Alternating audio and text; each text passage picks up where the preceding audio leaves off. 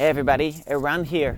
Um, so I had somebody ask me a very interesting question. He asked me, do I use some tracker or something for my visitors, um, for my website? And then uh, also I spoke to another person and I told them what I'm doing on, on promoting social media and they asked me, well, how many clicks are you getting and stuff? And I thought to myself, okay, you know, I'll do a little video about this, okay? Because people might be wondering. Um, and I thought I'll just answer it. Um, I don't track any of that stuff, any of that shit. I don't care. I don't check. I don't see how many views I get on my videos. I don't check, you know, how much this, how much that. I do, you know, periodically kind of um, uh, keep a, some sort of a grid to see that I'm improving. I'm getting, I guess, more followers or more this or more that or whatever. So I get an idea that, you know, it's improving. But honestly, I don't check.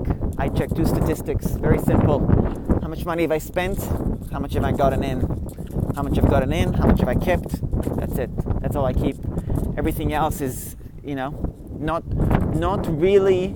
It, it can be time consuming. It can be a bit a bit um, irrelevant sometimes. It could be, you know, is it really important? Is it really relevant? Is it really going to you keeping track and having attention on these numbers? Is that going to make a difference in your business? Look, maybe it will, but you know. Um, when you're when you're um, a, a beginner like me and an entrepreneur, you know, you don't have time for that stuff. You already have so much to get done.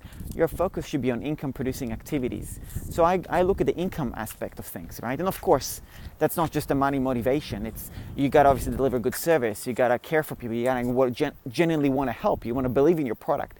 That, that goes, that's part and parcel. I'm, I'm, I'm bringing it up so it's not like I'm just some greedy guy who's checking how much money I'm making. That's not the point at all. Um, I'm very, very service oriented, but um, definitely in terms of what, what to keep track of, that's at the end of the day, if your actions do not result in that, you, are doing something wrong. So uh, that's my answer to that. Okay, bye.